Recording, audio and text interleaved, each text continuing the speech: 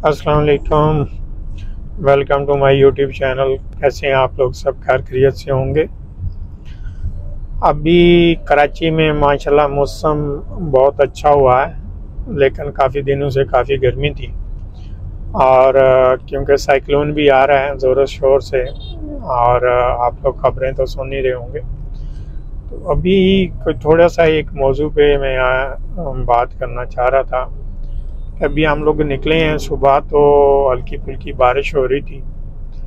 और जो ज़रूरी बात करने वाली है कि तकरीबन आप समझें कि 10 मिनट के अंदर अंदर कम अज़ कम छः से सात बाइक्स वाले और गिर रहे हैं। क्योंकि हमारी कराची की या जो भी पाकिस्तान की जितने भी रोड हैं, उसमें आयल वगैरह गिरता रहता है और वो जब हल्की फुल्की बूंदाबांदी होती है तो ये बहुत ज़्यादा डेंजरस होती है।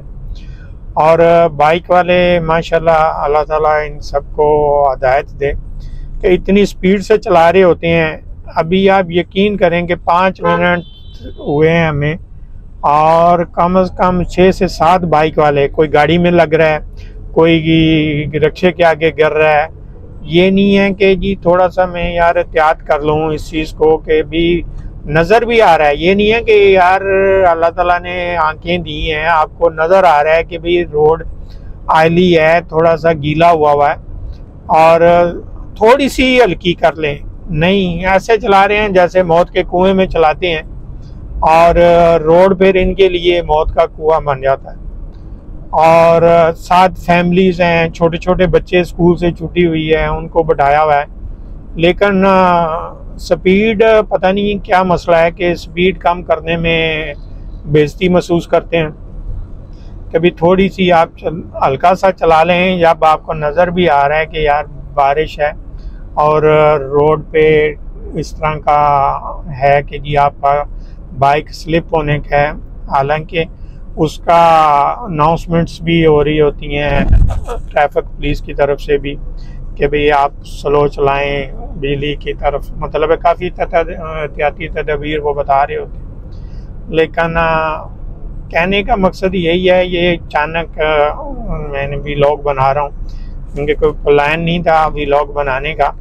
लेकिन जब ये चीज़ें देखी और तो मैंने बोला कि चलें आप लोगों से इसको शेयर कर लिया जाए कि ताकि यार आप अपना ख्याल करें, अपनी आपके गिरने से आपकी फैमिली डैमेज होती है, आपके बच्चों को उसका भुगतना पड़ता है।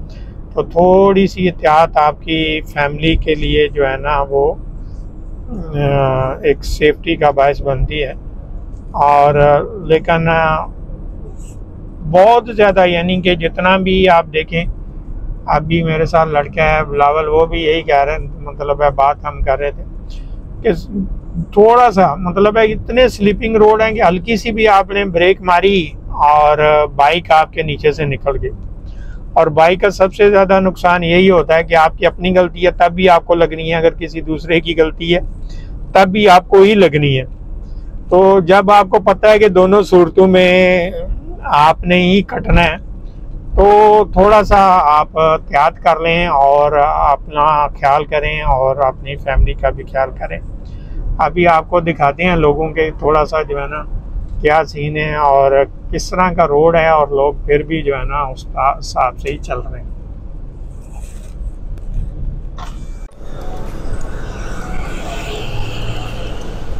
अभी आप ये देखें रोड की क्या हालत है।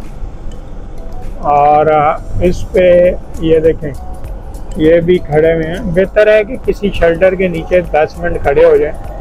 बारिश रुक जाए तो आप फिर मूव कर जाएँ आगे। क्योंकि रोड की हालत आप देखें कितनी स्लिप है। मतलब है कि होने के चांस हैं। और बेहतर यही है कि इसको थोड़ा सा प्यार से खिला जाए। अभी ये देखें बाइक बाइक साहब जो है, और इसी तरह जो है ना वो चल रहा है। फुल स्पीड लोग जो है ना चल रहे हैं ये भी आप देखें, बेहतर है ये लोग खड़े हुए हैं ना तो बेहतर है कि आप बजाय गिरने के थोड़ा सा जो है ना, आप त्याग कर लें और रुक जाए इसको